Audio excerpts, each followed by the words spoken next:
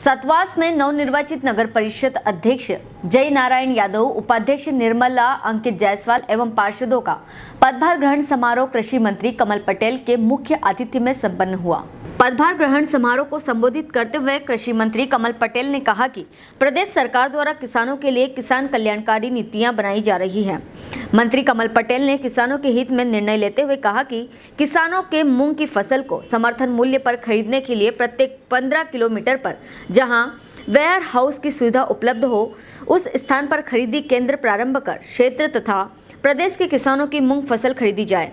सतवास को बड़ी सौगात देते हुए कृषि मंत्री कमल पटेल ने पूर्व मुख्यमंत्री स्वर्गीय कैलाश जोशी के नाम से सतवास में दो करोड़ रुपए की लागत से किसान सभागार बनाने की घोषणा की।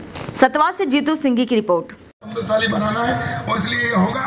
बाकी चिंता करने की ज़रूरत नहीं है। ये सरकार आपकी है। हम आपके हम गाँव किसान के बेटे हैं। और इसलिए गाँव किसान की तरक्की के लिए, हर नागरिक की तरक्की के लिए काम कर रहे हैं। चाहे शहर हो या गाँव हम सब मिलकर इस देश को आत्मनिर्भर बनाना है और भारत माता को दुनिया का सिरमौर बनाना प्रधानमंत्री नरेंद्र मोदी